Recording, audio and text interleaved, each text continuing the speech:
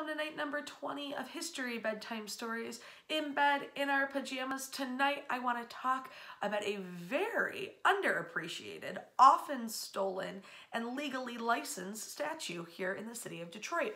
It is the James E. Scripps Newsboy statue out on Belle Isle. This is a postcard postmarked 1907 showing the statue in front of the Newsboy. You can see it in the background pavilion. Another uh, postmarked in 1905, again showing the statue, a young man dropping coins from one hand to the other as if counting them. His faithful pooch, his dog down here at his side, over his shoulder a shoe shine kit.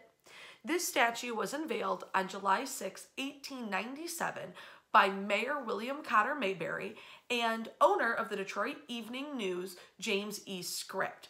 It was the culmination of the Newsboys Picnic held out on Belle Isle, Detroit's park in the middle of the Detroit River.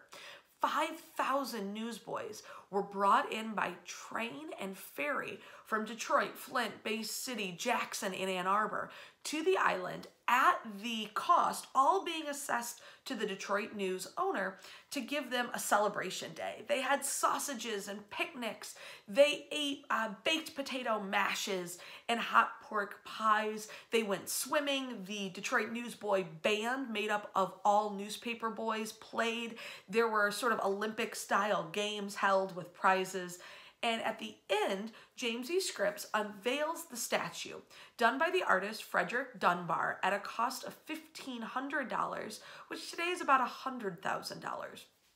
The statue is meant to honor the boys, many of whom were orphans, that worked as independent contractors to newspapers, selling the papers on street corners, at trolley stops, and outside of bars, making the newspaper tycoons not only incredibly influential, but incredibly wealthy.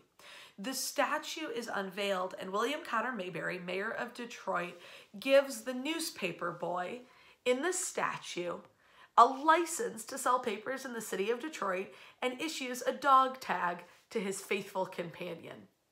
The statue uh, remains a fountain in the city until 1966 when the newsboy himself is stolen. He is eventually found and returned, but stolen again in 1974.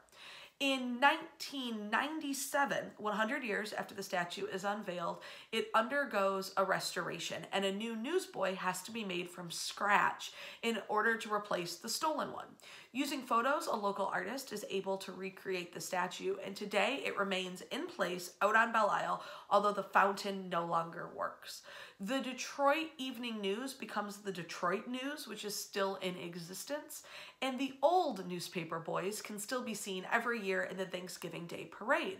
They are part of a charity that sells papers twice yearly in order to raise money to make sure every kid gets a Christmas. It's called one of the great exports of Detroit, a charity that has been so widely copied in other cities that Detroit's old newsboys, honored on a fountain on Belle Isle, still have influence over the kids growing up in Detroit and in low-income neighborhoods in America today.